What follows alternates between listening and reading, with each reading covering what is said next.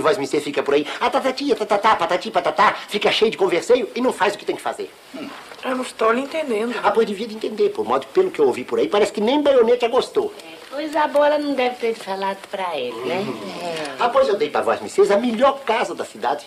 Uma casa que o doutor da medicina passa o dia inteiro de olho gordo pra riba dela. E o que foi que o Hermes me deu em troca? O que foi que o Hermes me deu em troca? Nada, nada, nada, nada, como diz ele, nada. Né? Nenhuma letrinha do catecismo de Dom Sebastião, nem um pinguinho em cima do i. Oh. Mas é claro que nós temos que ouvir os outros habitantes da cidade. Isso faz parte do nosso trabalho. Isso é tudo inimigo, não é verdade? O diabo e um povo amarelado que uma hora fala uma coisa e depois fala outra. Oh. Mas isso não importa. O senhor acha que Deus teve que explicar quem escreveu a Bíblia, como foi que criou o mundo? E Jesus Cristo? O senhor acha que ele teve que explicar como foi que ressuscitou? É, onde é que o senhor quer chegar, hein? Que nem Dom Sebastião e nem Zebedeu tem que ouvir e dar satisfação a ninguém. Mas nós temos. Hum. Nós temos que saber o que estamos escrevendo. Eita, ah, pois é verdade que o homem dos jornais tem razão. Por modo que ele tem que conversar com o povo que está do lado do campo, para modo de convencer esse povo a passar para o lado de Dom Sebastião. Exatamente. Ah, pois então se eu vou lhe dizer uma coisa, se eles não mudar lendo meu catecismo, eu faço eles mudar, é na ponta da faca que dá no meio. Um, um momento, meu querido imperador. É, por acaso vocês estão querendo dizer que só porque eu fui entrevistado aí por este senhor, eu estou do lado do cão, é isso? Não, de maneira alguma. O senhor é um zebedeísta convicto. O senhor é um cangaceiro num corpo de um médico. Não, também não precisa exagerar, não é? Não é exagero. Não é exagero nenhum. Aliás, o mundo inteiro vai ficar sabendo disso. Eita, que coisa boa, hein?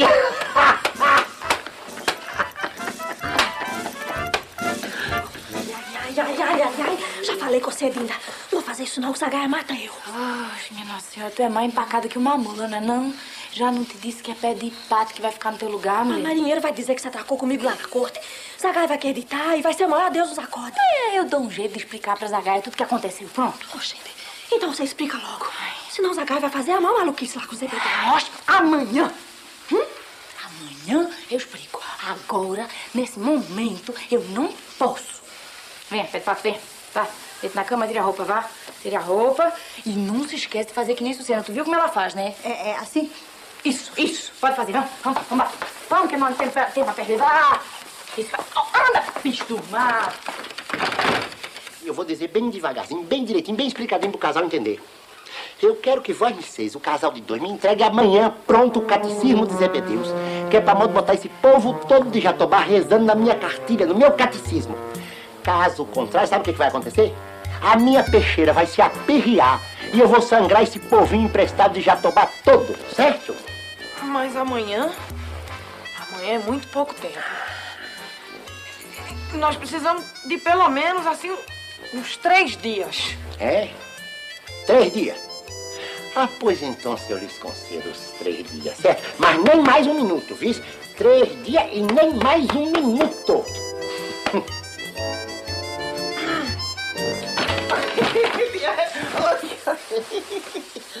Oi. Oi, que eu não tô aguentando nem ficar em pé.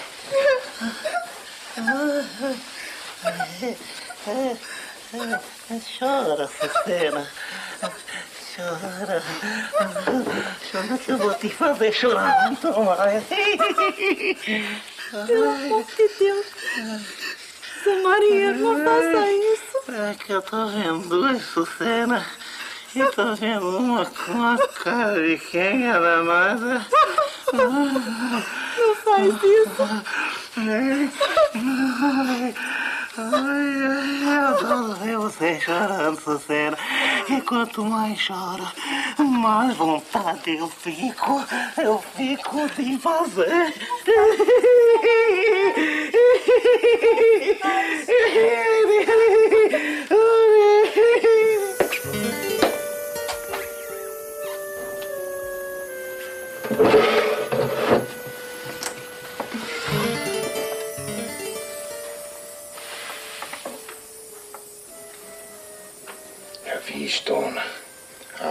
Não me atende dessa maneira não, que o vosso marido está lá na sala. Me desculpe. Não foi essa a minha intenção. Fica. Eu é que tenho que me acostumar com essa boniteza toda. Hum. Obrigada pelo elogio. Você, quando quer, sabe ser muito delicado. Eu quero lhe pedir desculpa pelo que eu fiz hoje. Ah, Eu não tô nem mais pensando nisso, esqueça. E você acha que nós vamos poder se livrar de Zé Bedeu? Eu acho que sim. Eu vou fazer o possível para ajudar e Glauco também quer ajudar. Nós estamos aqui só para testemunhar o que está acontecendo, Baianeta. Eita, que eu não vejo a hora de sair daqui e me embrar novamente na caatinga. Você não tem vontade de mudar de vida? De constituir uma família? Eu não acredito nisso não, dona. A minha família é tirana e o resto pano. E nós vai morrer tudo é, é guerreando na caatinga. É. Eu entendo. Olhe, vá descansar, vá dormir. Você foi de grande valia. Amanhã Glauco lhe paga pelo serviço. Hoje não carece não, dona. E dispõe pra que, que eu preciso de dinheiro nessa cidade. Só se for pra ir no bordel. Ah, mas no bordel, Zé Bedeu só deixa nós ir quando é dia de festa. Tá bem. Tem outro quarto na casa. Se você quiser usar, fique à vontade.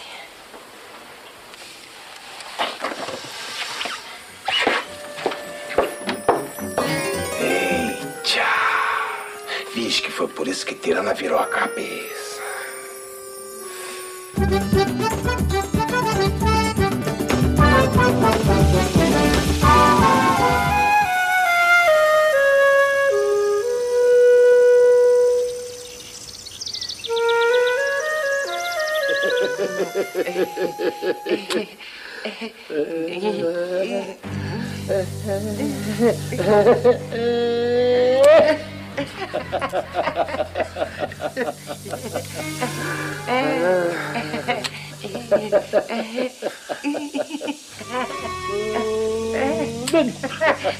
Desse jeito vai acabar da lua ao homem, Zé Bedeu.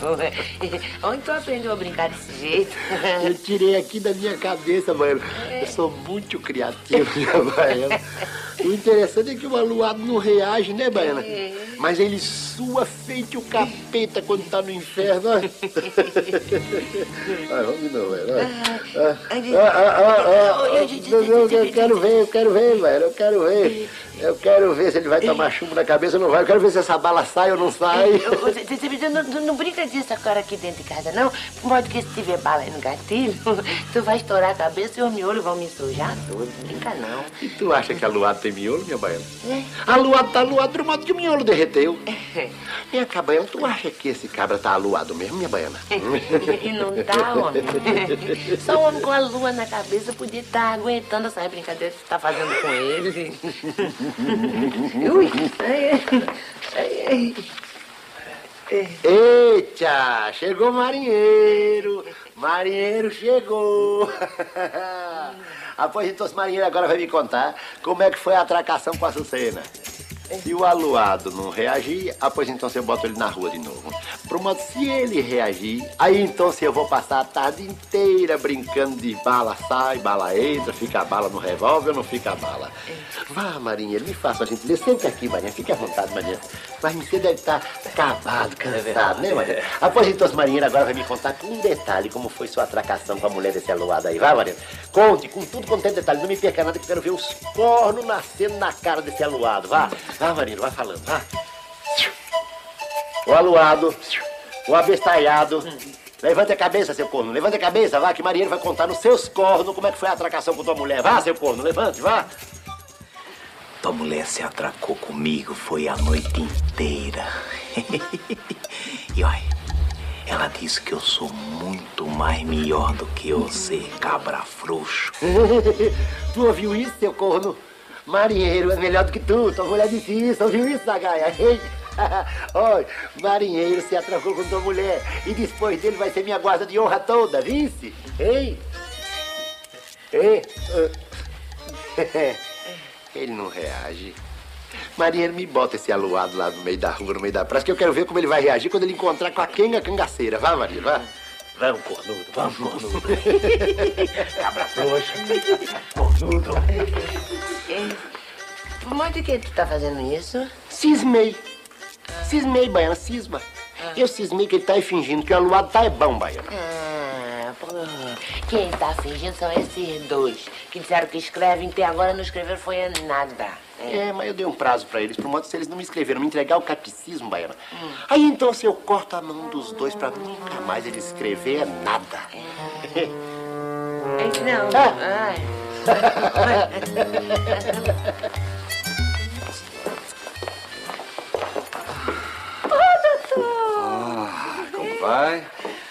Dinda está? Ah, deve de estar vindo. O senhor pode ficar à vontade, viu? Tá bom, obrigado. Tchau. Oi? Ô, seu Grauco, vem se divertir, hein? quem me dera, Dinda, quem me É. dera. Oxe, como é que tá aquele docinho de moleque que o senhor tem? Tá boa, tá? Bom, dentro do possível, tá tudo bem. Ah, olha, Magda, vá buscar aquele, aquela garrafa especial que eu tenho pros clientes especiais, hein? Eu, eu tô achando que o senhor tá um pouquinho de nada aperreado, é impressão minha, é? Ah, Dinda. Sabe o que é? Anda, vá, Via, vá, vá, vá, vá, vá, vá. Dinda, eu e a Leti, a gente tá meio encrencado. Ah, é? Pro modo de quê? Nós temos que entregar pro Zé Bedeu um catecismo, a biografia do sujeito, e eu tenho que escrever uma reportagem pra mandar pra Salvador. Poxa, mas não é isso que vocês fazem, vocês não escrevem, não é essa a profissão de vocês. Ah, mas o prazo tá muito curto. E o pior de tudo é o tal do catecismo zebedeísta. Hum. E que diacho de catecismo é esse? Ah, eu não faço a menor ideia. Eu não entendo nada de catecismo. E o pior é que tem que ficar do agrado dele. Olha, eu bem gostaria de ajudar o senhor, que o senhor é muito simpático, não sabe, mas eu não posso não, que eu não tenho nada de catecismo no senhor. Mas aquele frade simpático, ele entende, não entende? Ah, Frei Dodô? Ah, Frei Dodô, entende sim. Entende tudo que for de, de cruz, de Cristo, de, de crisma, de coisa, batismo, ele entende. É. Escuta, Dinda, Hum. você não podia ir até a igreja chamá-lo até aqui? É que eu não queria que o Zebedeu soubesse que eu tô conversando com ele. Ah, tá certo, tá, certo. Melhor prevenido que remédio mais. É isso, eu vou. Eu vou. Agora, é, Armina, venha fazer companhia pro doutor aqui, vá. O senhor toma um pouquinho dessa especial que eu deixei aqui pro senhor. É, a Armina vai fazer companhia, mas olha, tome tempo que ele é casado. Depois ele vai subir sozinho lá pro quarto, que ele é casado, viu? Respeito. Até logo, fazer o que você pediu, é. Até Obrigado. Dinda. Ah.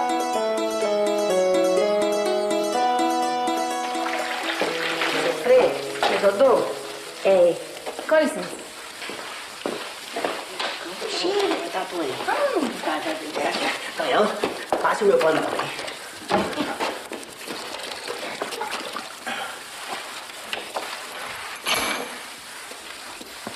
Veio se confessar mesmo, dona Linda? Que nada, Frei, eu vim falar do jornalista da mulher dele. E o que aconteceu com eles? Pois é, Bedeu disse que vai deixar ele sair de Jatobá. Não, gente. E por que que Zebedeu vai fazer isso, já que não deixa ninguém sair da cidade? Hum, que Zé Bedeu quer aparecer no Jornal da Bahia como enviado Dom Sebastião. Ei, Hum, não sei, não.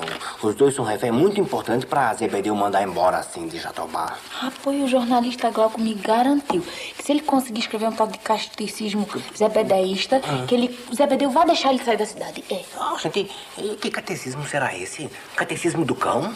Mas é por isso, Frei Dodô, que eu tô aqui pra conversar com o senhor. O senhor tende a ajudar o jornalista, a mulher dele, a escrever esse negócio de catecismo, Dom Zebedeu, Dom Sebastião, sei lá.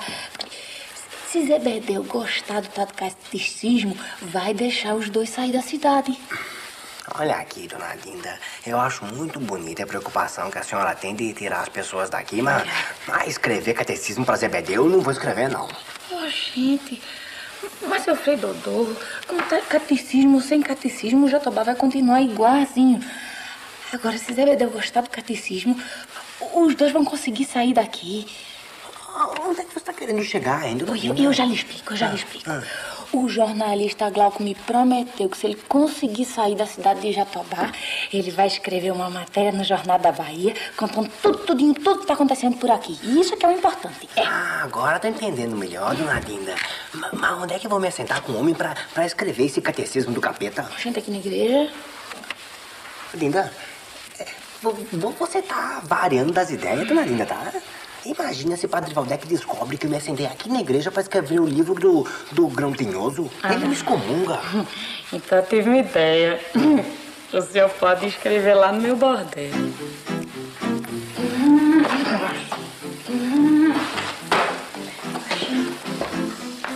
Esse cangaceiro não tem jeito mesmo. Imprestável. Ô, minha Nossa Senhora da Neve, que Padre Vardec chegou. Ah, agora é que nós vamos ter que pedir pra tudo que é santo mesmo. Então, tá tudo pronto, tá? Tá, sim, senhora Dona Lívia. Ó, o vestido e o véu estão aqui dentro da cesta. Mas Venância vai é vestida de noiva, é? Pois então ela não é a noiva de Dom Sebastião. Ela só não pode saber que eu sei disso, vice. Tá, sim, senhora. Agora se apresse. Pra chamar a Kenga Santa, vá, que Desidério essa altura já deve estar. Com licença. Muito pronto mesmo, dona Olívia. Homem, escute bem. Você tem que convencer a nossa Kenguinha, na hora que a carroça passar na entrada de Jatobá, que ela sai correndo e entre pra dentro da cidade. Depois, então, você vai ter que convencer os soldados. É, Eles vão ter que entender que é melhor pra ela que ela fique em Jatobá. Eu acho é que não cru. vai ser preciso, não, dona Olívia. Ah, como não vai ser preciso Desidério? Pelo movimento lá de fora, parece que vai levar nós é o Tenente Aquiles. Tenente Aquiles. Ave Maria. Não é que Deus ouviu minhas preces?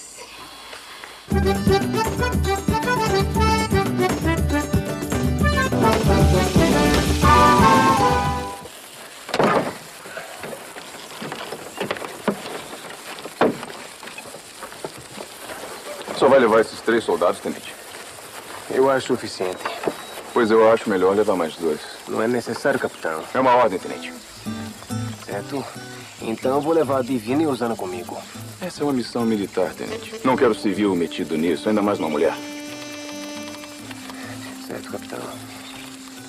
O senhor manda.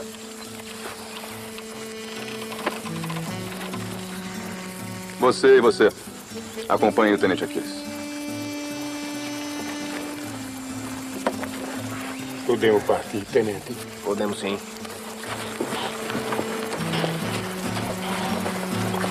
Precisamos arrumar um jeito de despistar os soldados e tomar o rumo de Jatobá, não sabe? Não se preocupe não, homem. Eu vou dar um jeito.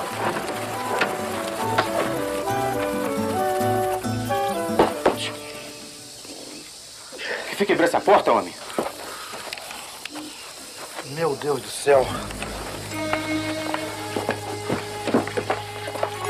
Não é possível. Você fica aí que eu vou chamar o capitão, hein? E acho, o homem enganou todo mundo. Capitão, capitão, roubaram o depósito de armas, capitão. O que, que você está me dizendo, homem? Levaram armas e munição, capitão.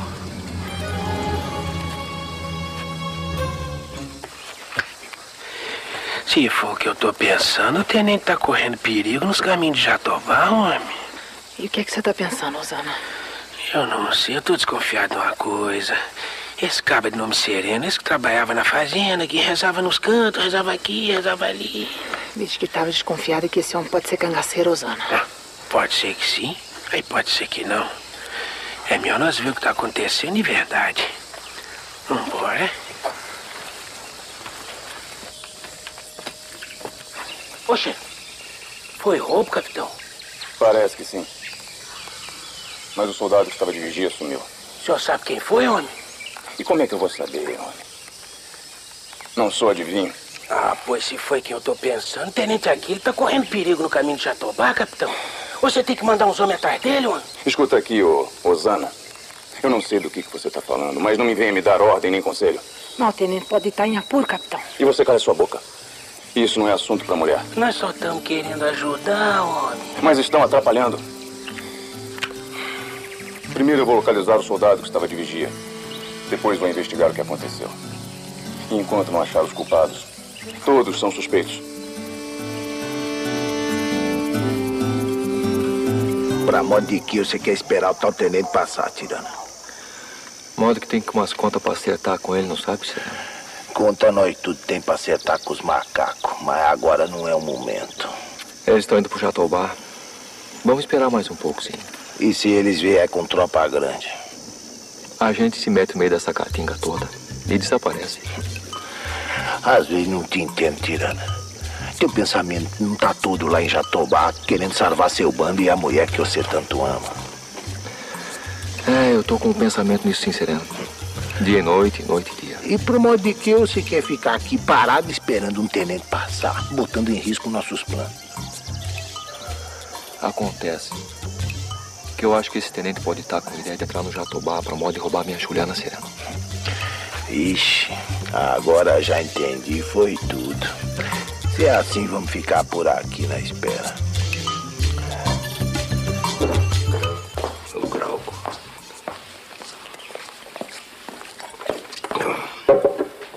Por que seu teto tá tão afundado desse jeito? Se tu tá aí pensando que é pula cachaça, tu tá muito enganado, pé pato. Não, não tô pensando nada não, seu teto. Só tô vendo o senhor aí todo amuado pelos campos. Um- onde tá o jornalista repórter, sabe onde tá? Sei, tá no quarto de vinda, por quê? Tá lá dentro e não me deixa entrar. Diz que tá escrevendo. Escrevendo o quê? Ué, vai ver que tá mesmo, não é isso que ele faz? Olha, pé de pato, desde que esse seu glaucoma chegou com a mulher aqui, que eu não paro de sentir uma dor de corno por isso. Acabou. Que isso, seu teto? Você vai voltar com as manias que Dona Dina tá lhe botando no chifre de novo? Não, pé de pato. Não é. Não é mania, não, pé de pato. Não é mania, não. É verdade. Ixi, que o aluado deve estar querendo entrar no bordel.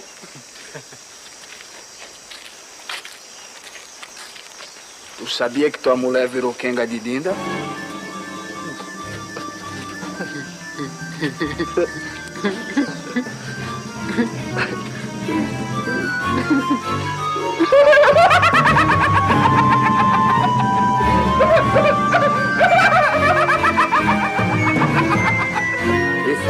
saudade do cangaço dos tempos de assombração. Que saudade que eu tenho de andar no meu sertão.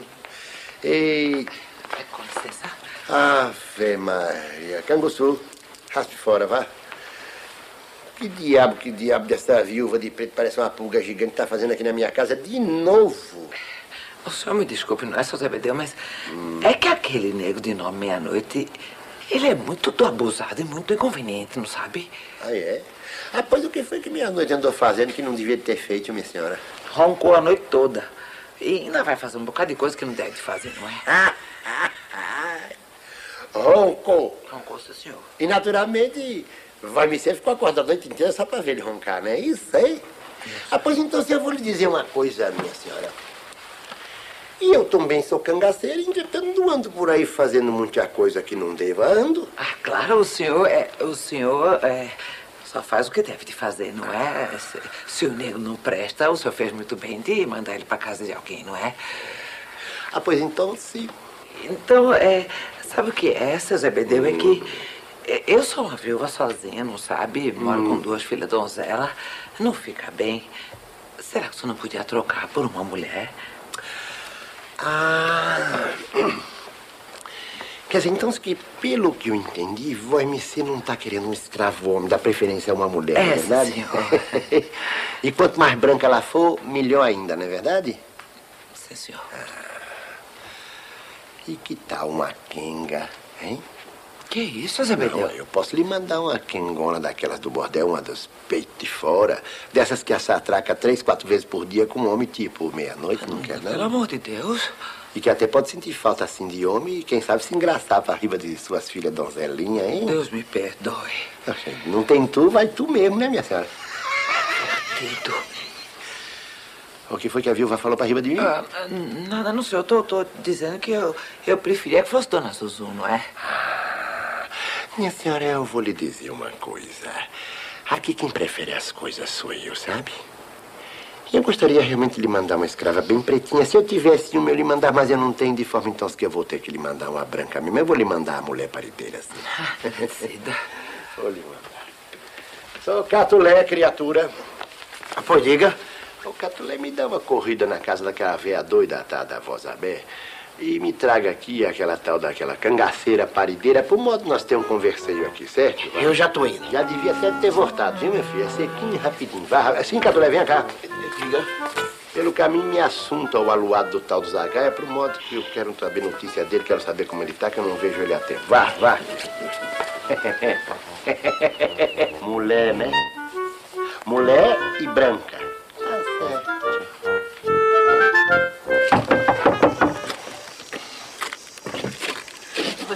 Você Zagaia? Juliana, tu me deixa entrar.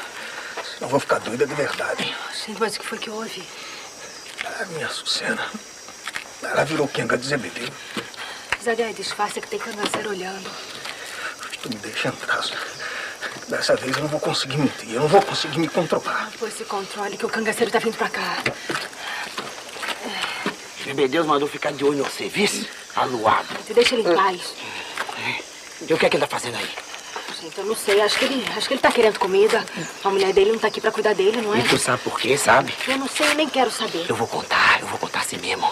Sucena virou quenga. Ela mais marinheiro se atracou a noite inteirinha.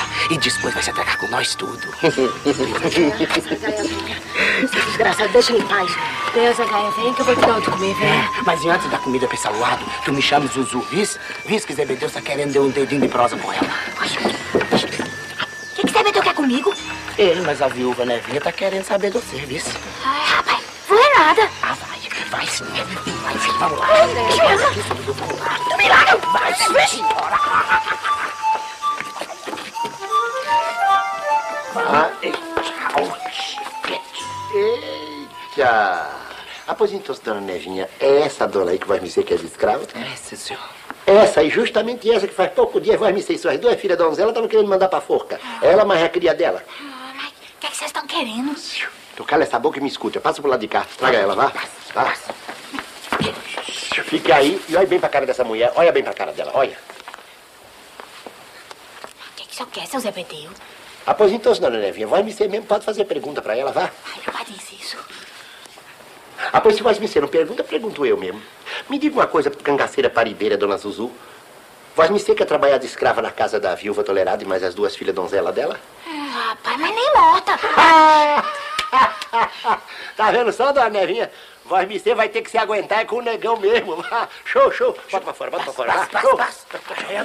Solta, gente. Solta. Eita, sorta, sorta ela, Gila, sorta, sorta, porque hoje parece que é o dia da arrementação. O que que a órfã tá querendo aqui hoje? Olha, Zebedeu, aquele escravo eu não vou... Eita! Quer trocar o escravo também? Qual é o problema? É problema de bitola? O máximo que eu posso fazer, minha filha, é trocar o negro que tá na sua casa pelo negro que tá na casa da Dona Levinha, quer? Não muda muita coisa, não. Catulé, catulé, catulé. Olha só a cara dela, a cara dela. Não demora muito, ela vai ficar aluada que nem zagaia também, olha. Então, se é assim, o nome é Três Marias, né? Joga pra cá. Cai pra cá, você puxa pra outra. Aí a dispôs. André, eu preciso falar com você. O que, que é, Rosário? Eu tô muito preocupado com a Madalena, André. Ela saiu de casa com um cara esquisito e não me disse aonde ia. Ah, cara esquisita sua irmã sempre teve, né?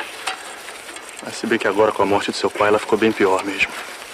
E você queria que ela fizesse o quê, André? Que ela ficasse às gargalhadas pelo meio da praça? Não foi isso que eu quis dizer, não é, Rosário? Ah, Mas talvez a sua irmã agora esteja precisando mesmo de um tratamento médico. Quem sabe você não pede uma ajudinha ao doutor Edgar? Vocês não são tão amigos? pois é isso mesmo que eu vou fazer, viu? Olha lá, gostosinha. Lá vai ela atrás daquele doutor depravado. Ah, pois não foi você que mandou? Ah, eu falei por falar, né, Lustosinha? Eu não consigo tirar essa desconfiança da minha cabeça. Que diabo de desconfiança é essa, André? Não, não é nada, não. Vai, vamos trabalhar. Vai, catando bosta. Catando bosta. Ah, vezes me parece que tu tá variando bem da cabeça, não, viu? Por quê? Por quê? Por modo que, por modo, por modo que a menina vem aqui toda aperreada com a irmã e você me trata coteada mal, que nem coteada é.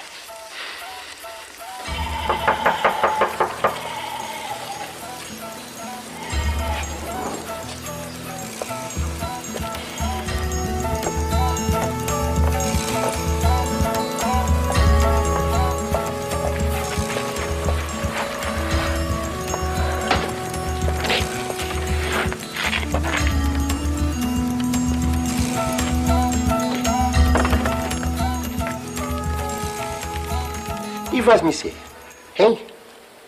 Tá aí parada me olhando com essa cara de abestalhada por modo de quê? Vamos, fala, criatura, desembucha logo. Também veio se queixar do escravo, foi?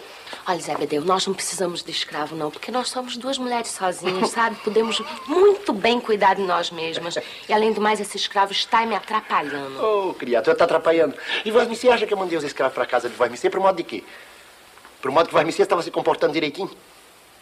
Vosmicê ainda não perceberam como funcionam as coisas por aqui, não? Eu mandei os escravos pra lá. Por modo que no costume só fazia me atrapalhar. Eles ficam juntando arma, fica tramando conspiração, fica falando mal de eu, fica fazendo cara feia. Ah, pois então é por isso que eu espalhei os escravos por tudo quanto é casa.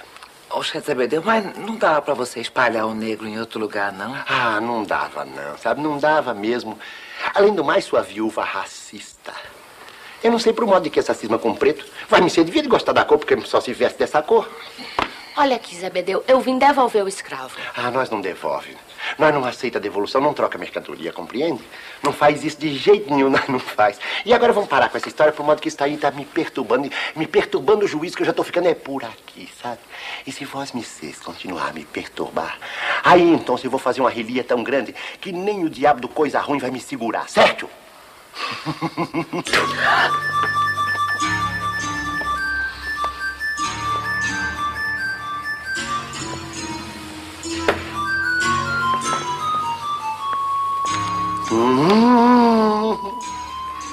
Vós me tá querendo se encontrar com o finado vosso pai que morreu? Tá, hein? Olhe, me responda. Eu lhe fiz uma pergunta. Vós me tá querendo se encontrar com o maldito do Maldonado, tá? Hein?